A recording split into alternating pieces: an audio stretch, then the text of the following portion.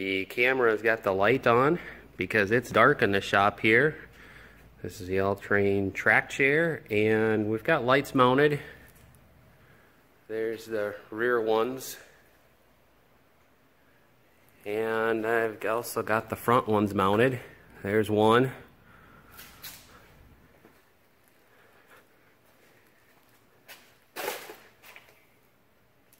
There's the other front one.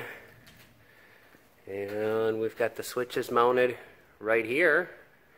And I've also got the wireless connected to it. So we're going to start with that. And then we'll flip on the rest of them. Uh, this wireless function's got some pretty cool capabilities. Uh, which I'm going to demonstrate via the key fob.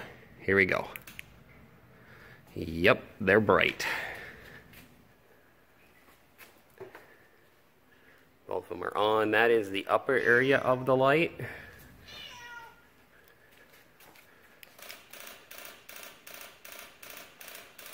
Got a flash function.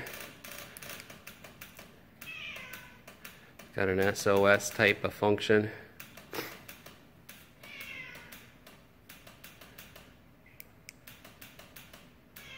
All sorts of flashing. and then back off again. Uh, so now we'll turn on the lights here. And so now it's bright. Uh, I don't know if you can see this with the camera.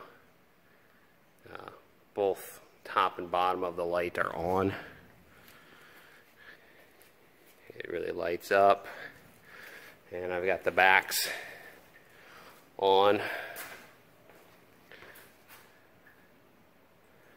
So it's pretty bright.